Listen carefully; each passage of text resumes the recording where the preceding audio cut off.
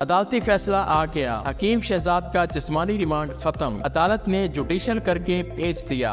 मुलिम हकीम शहजाद अल मारूफ लोहा फाड़ को डिस्ट्रिक्ट कोर्ट मुल्तान में जज एहसान साबिर की अदालत में F I A cyber crime की जानब से पेश किया गया। अदालत ने मजीद जिसमानी रिमांड की दरख्वास्त को मुस्तरद कर दिया।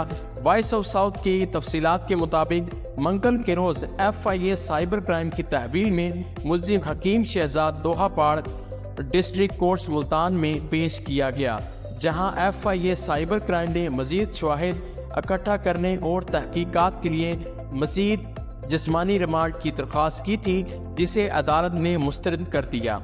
और फैसला सुनाया कि मुलजिम का मजीद जिसमानी रिमांड दरकार नहीं है। रिपोर्ट में बताया कि एफ़ आई ए पहले ही मुलजिम का बारह दिन का जिसमानी रिमांड ले चुकी है और तमाम ज़रूरी डिजिटल आलात भी बरामद कर लिए गए हैं। फैसले में कहा गया कि दीगर शाहिद सोशल मीडिया आलात और ऐप से इकट्ठा किए जा सकते हैं, इसलिए मुलजिम को मजीद रिमांड देने की ज़रूरत नहीं, जबकि F I A cyber crime को हदायत दी गई कि वो अपनी रिपोर्ट 19 नवंबर 2024 को अदालत में जमा करवाए।